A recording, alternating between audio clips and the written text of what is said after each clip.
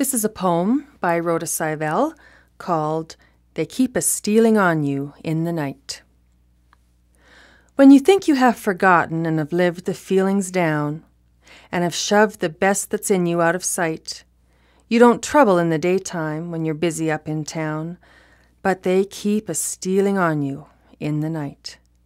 They keep a stealing on you when the world has gone to rest, and bring the past before you bright as day. You can hear the horses neighing, you can hear the riders whoop in the valley by the river, far away.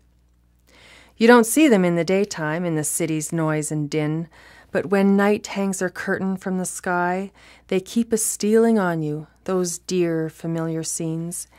and you know you'll not forget them till you die and your old top horse is standing with his saddle by the door, and he whinnies when you're comin' into sight. 'Tis years since last you saw him, you don't think of him in town, but he keeps a stealing on you in the night. And your honey, she is riding by the river all alone, and some way it doesn't seem quite right, for you're hustling, hustling, hustling, making money up in town, but your sweetie's face, it breaks your heart at night. When you think you have forgotten and have lived the feelings down, and have shoved the best that's in you out of sight,